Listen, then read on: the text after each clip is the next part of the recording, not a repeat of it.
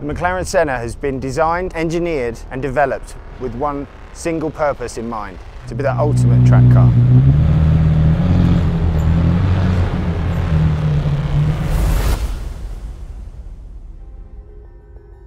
There's a number of things you can change on the McLaren Senna when getting to a racetrack. Race mode on the Senna uh, lowers the car. You can use that to really get the car very low on ride height and get as close to a race car as you possibly could get.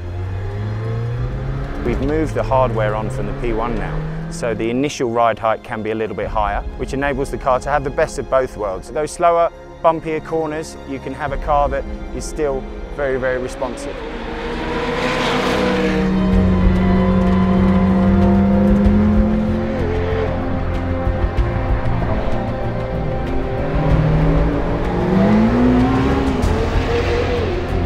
Increased speeds, the compression from the downforce stiffens the springs on the car. So you're very low on the deck, so you get zero roll on the car at those higher speeds. It helps massively with stability going into quick turns on track.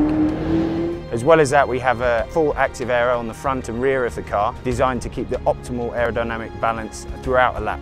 For example, when the car is heavily in pitch in a heavy braking zone, we can bleed off the flaps at the front of the car to decrease the amount of front downforce enables you to get a nice balanced car at the crucial point into the apex. It's a big task for us to calibrate for all the different circuits, but we're trying to get this car through as many circuits as we possibly can in development, more so than we ever have done before. Not only our proving ground, but also more of a Formula One circuit feel as well the feel and response when you're into a heavy braking zone is really fantastic, which is crucially important for track driving to shorten those braking zones down. It's a fantastic raw experience on track with this car. There really is nothing that separates it from a race car uh, when you're out there on circuit in race mode, just you and the dynamics of a very, very stiff, very, very fast car.